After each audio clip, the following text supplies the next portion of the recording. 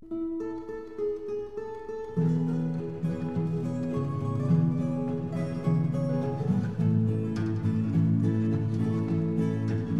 makanan numi kei kai